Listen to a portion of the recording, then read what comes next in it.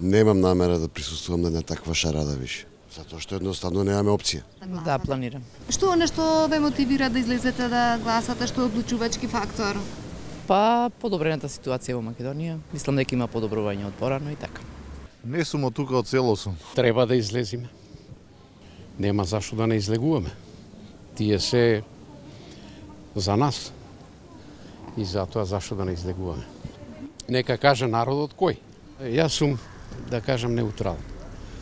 Но за овие три години има а, голем пад на, да речем, на економијата. Катастрофални услови во здравство. Треба да победи оно што стварно мисли за Република Македонија и за овој народ. Заслужува после толку тормозење и работи заслужува еден, да речем, еден пристоен живот. Да, да. Така да го скористам своето право на глас. Ме едноставно е тоа. Значи, сите имаме право да одлучиме за кој сакаме да гласаме и да го искористам своето право, ете тоа. Па нема одлучувачки фактор, видите, ние сме луѓе лојални на оваа држава и сметаме дека треба да се одолжиме на оваа држава.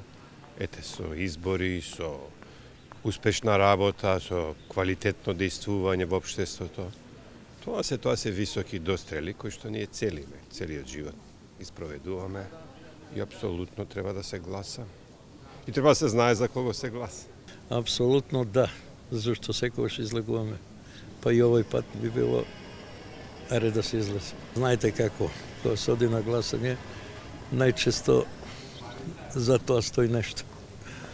Е тоа нешто сакам да е лично, така да тоа би било главно.